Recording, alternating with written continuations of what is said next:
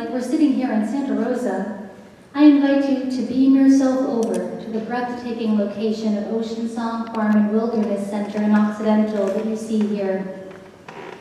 Breathe in the clear, fresh air, the awe-inspiring vistas, the miracles of hummingbirds dancing around you as you sit quietly, settling yourself. Breathe out busyness. Breathe in spaciousness, natural rhythms, full aliveness.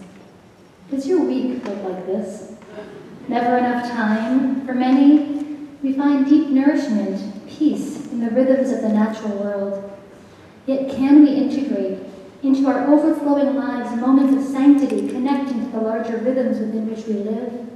Judaism offers a deeply nourishing rhythm, rooted in the seasons and a calendar linking the rhythms of the sun with the cycles of the moon, Rosh Hashanah in the fall, Passover in the spring. The Hebrew calendar offers a new year each season. Each holiday and new year falls within a Hebrew month that begins with the sighting of a new moon, the rhythm of its waxing and waning coordinating with the earth's rotation around the sun.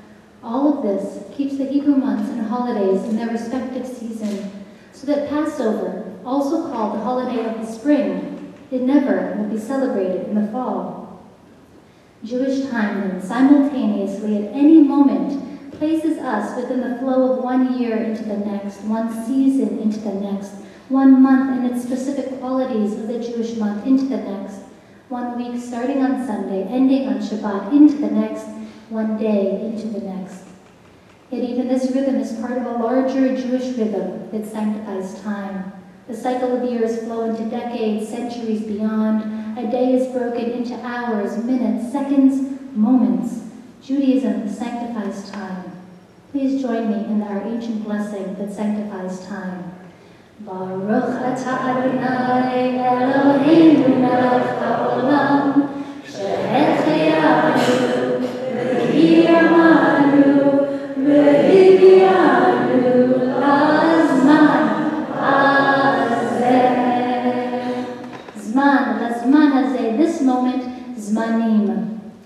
Zmanim is the plural of zman in Hebrew.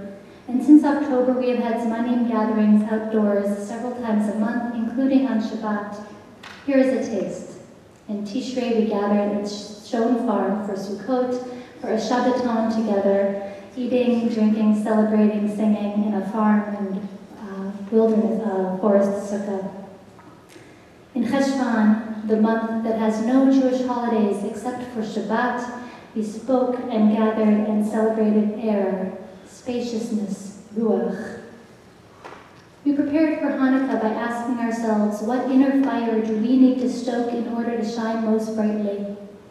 In addition to exploring the miracle of oil and fire, we explored the miracle of our own inner flame. Month after month, we return to Ocean Song to note changes, feel cool, foggy mornings, bright, sunny days, tap into those nourishing rhythms of time, of Jewish time, of the flow that is greater than any of us. We explored a unique aspect of this Jewish year 5775, the seventh year in the Jewish year cycle, called Shemitah, a year when the land in Israel is traditionally neither sown nor plowed. We gathered wild edibles, made a salad from what we found growing. We returned to the same location throughout the seasons, noticing subtle changes, nourished by spider webs in morning dew, moss that appears after the rains. The months turn, we continue growing together in community, celebrating the rhythm of the cycle of trees, tapping into the Jewish value of giving back. We planted olive trees in an area of ocean song that they want to develop. We prepared for Purim, explored the concept of how things are not always as they seem. Through Zmanim, we bring the Jewish festivals outdoors, while others were blurring the boundaries between Haman and Mordechai, we were dressing up pomegranate trees as olive trees. As we gather monthly to explore ways that we can integrate into our overflowing lives moments of sanctity, rooting our experience in the rhythms of the seasons of Jewish time, the cycles in nature that inspired so many of our traditional Jewish practices, we invite you to visit our website for more information, for it is awesome, holy, this life we live, this moment. Amen.